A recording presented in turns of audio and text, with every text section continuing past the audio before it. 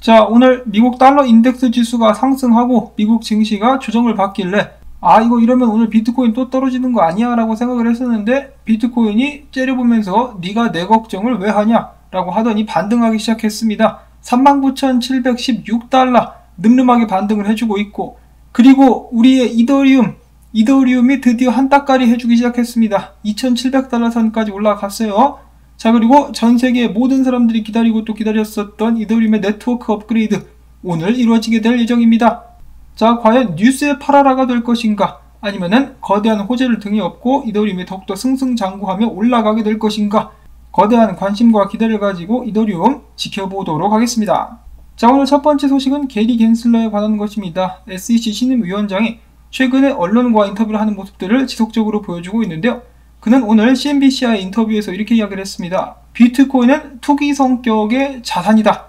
뭐 투기 성격이라고 이야기를 하긴 했지만은 그래도 자산 클래스로 일단 인정을 해주는 클래스. 자 그런데 게리 겐슬러가 인터뷰를 잘 하다가 또 헛소리를 지껄이고 말았습니다. 암호화폐는 사기, 돈 세탁 등 범죄 행위에 연계되는 경우가 많다. 어디서 구라를 치고 있어요. 비트코인 전체 거래량 중에 5% 미만만이 불법적으로 사용이 된다라고 하죠. 그 반면에 달러는 어떻습니까? 달러야말로 자금 세탁, 테러 자금 지원 등 기존의 메이저 은행들도 이런 범죄 행위에 가담하는 모습을 어렵지 않게 찾아볼 수가 있었는데 문제는 대형 은행들은 아무리 나쁜 짓을 해도 걸리면은 벌금 조금 내고 풀려납니다. 그런 부분은 무시하면서 비트코인만 계속해서 괴롭히고 있는 이 게리 겐슬러 헛소리 하지 말고 ETF 승인이나 빨리 할 수 있으면 좋겠는데 말이 나오기가 무섭게 햄토리 캐피탈이 아니라 빅토리 캐피탈이라는 곳에서 SEC의 새로운 암호화폐 ETF 출시 신청을 했다고 합니다. 비트코인 ETF는 아니고요. 비트코인이 포함된 여러 가지 암호화폐들이 섞인 ETF라고 합니다.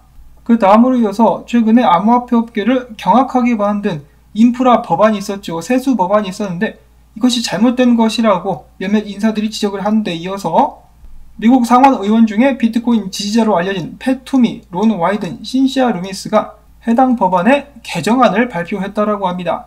이 개정안에는 국세청 정보 보고에 대해서 보다 표적화된 접근법을 제시했으며 특히 납세 대상에서 채굴자, 소프트웨어 개발자 등등을 제외할 것을 제안했다라고 하네요.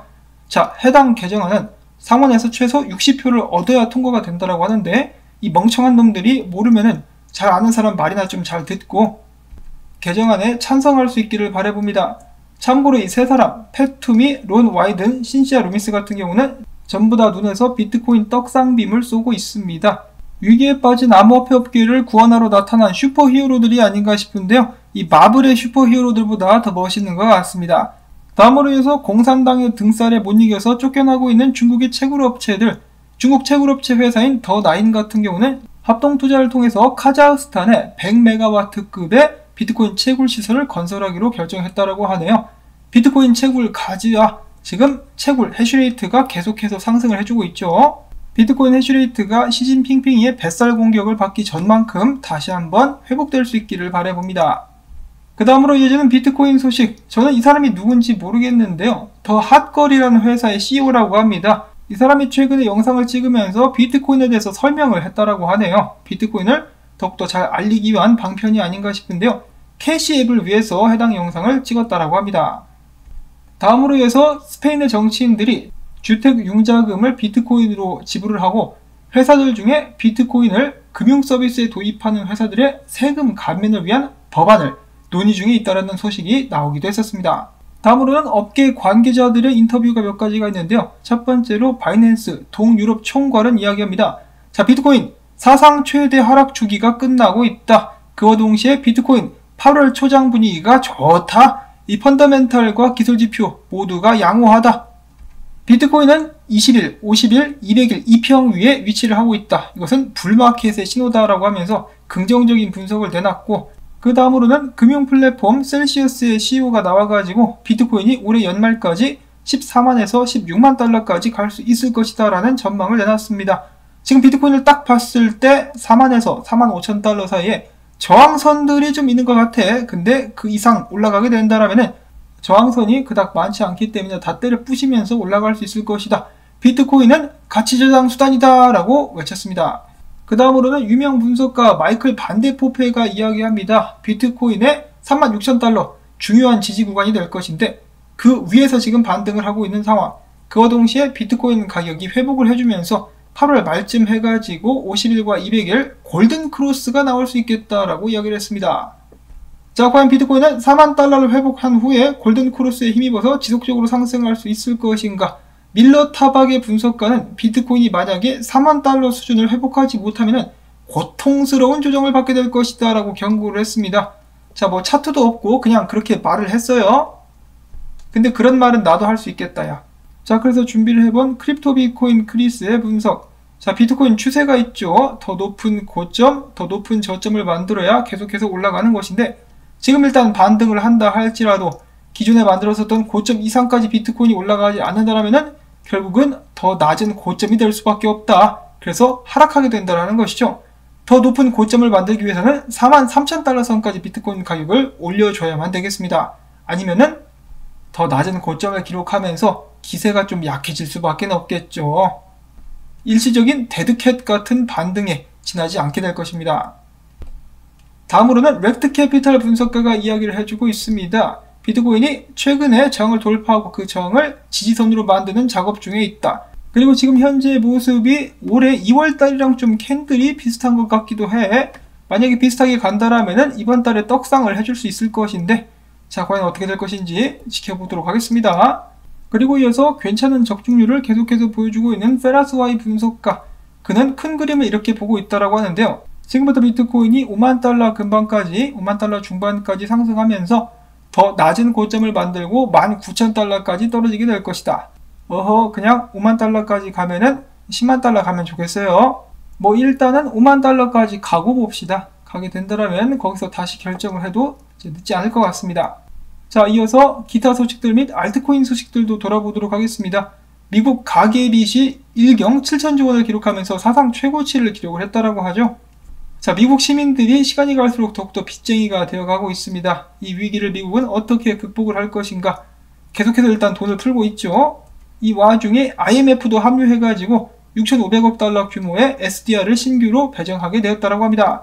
이 아주머니 얼마 전에 비트코인을 신나게 까내려 쓰는데 그 동시에 자기가 무슨 산타클로스도 아닌데 돈을 막 뿌리고 있어요. 그러면서 하는 말이 전례 없는 위기 상황에서 세계 경제를 돕기 위한 역사적인 결정이었다라고 자화자찬을 하고 있습니다.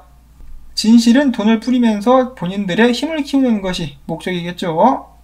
그 다음으로는 안타까운 소식이 있습니다. 이제 국내 대학생들을 대상으로 설문조사를 실시했다고 합니다. 2,502명을 대상으로 코인 투자 실태를 조사를 해봤는데 10명 중에 7명이 원금에 손실을 입고 있다고 합니다. 그리고 그 중에 68.1%는 지속적으로 투자를 이어나갈 것이다라고 이야기를 했는데요. 자, 이 많은 투자자들과 이 분석가들의 이야기를 들어보면 사실 가장 많이 돈을 벌 수 있는 기회는 바로 하락장이라고 하죠. 하락장 때 쓸어 담아가지고 불장 때는 팔기만 하면 되니까. 근데 불장 때 들어온 사람들은 수익을 내는 것이 그렇게 녹록지가 않습니다. 물론 기술 좋은 사람들은 수익을 내기도 하겠죠.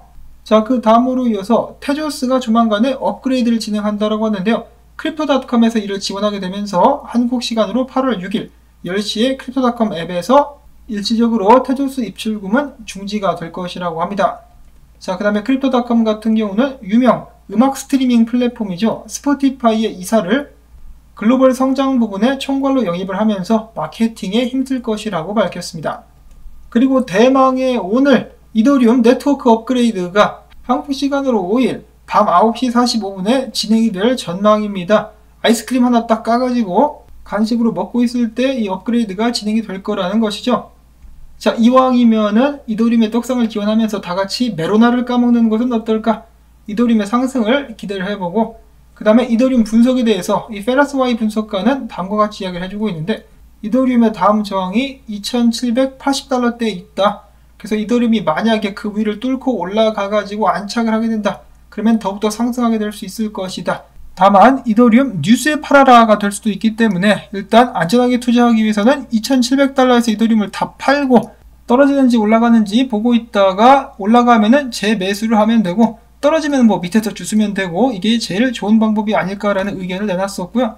자, 그 반면에 모프스키라는 분석가는 이더리움이 3200달러 정도까지 갔다가 꼬꾸라질 것이다 라고 내다보고 있었습니다. 자, 과연 이더리움의 운명은 어떻게 될까요? 비탈릭한테 한번 물어보고 싶습니다. 자, 다음으로는 최근에 엄청난 상승을 거둔 테라, 이 루나가 급등한 세 가지 이유를 코인텔레그래프에서 간추려 봤다라고 하네요. 첫 번째로는 루나의 급속한 생태계 확대, 두 번째로는 wrapping이 된 이더리움 staking의 추가, 그리고 루나와 UST의 공급을 통제하는 tokenomics 등 세 가지의 이유가 있기 때문에 이 루나가 가격이 상승했다라고 그는 이야기를 하고 있는데요. 자, 루나 같은 경우는 갤럭시 노브그라츠의 아니, 갤럭시 디지털의 노브그라츠가 굉장히 좋아하는 코인 중에 하나죠. 얼마 전에 루나를 통한 airdrop이 많이 이루어지게 될 것이다 라고 그는 이야기를 한 바가 있었습니다. 참고가 되실 수 있기를 바라고요. 마지막으로는 이 가짜 사토시가 만든 비트코인 SV가 이번에 다시 한번 51% 공격을 쳐맞았다라고 합니다. 나쁜 놈이 벌 받는 것 같죠? 지금도 생각나는 것이 2019년도 정도였었나? 이 크레그 라이트가 자신의 튤립 트러스트에 비트코인 100만 개 있으니까 그거 꺼내서 다 던지겠다라고 협박을 했었던 기억이 납니다. 암호화폐 시장을 파괴하겠다라고 이야기를 했었던 것인데요. 파괴는 지가 처먹었죠. 잘못하니 굉장히 이상한 사람도 많고 재미난 일도 많이 일어나는 암호화폐 시장. 오늘 소식들을 한 번씩 돌아봤고요. 부디 기분 좋은 반등이 계속해서 쭉 이어질 수 있기를 바래봅니다. 이더리움 네트워크 업그레이드도 안정적으로 진행될 수 있기를 바래보면서 저는 다음에 새로운 소식 가지고 또 인사를 드리도록 하겠습니다. 오늘도 마찬가지로 토마토밭에 메로나 던지기 광고 영상 재생 마지막까지 채널 지원 부탁을 드립니다. 안녕히 계십시오.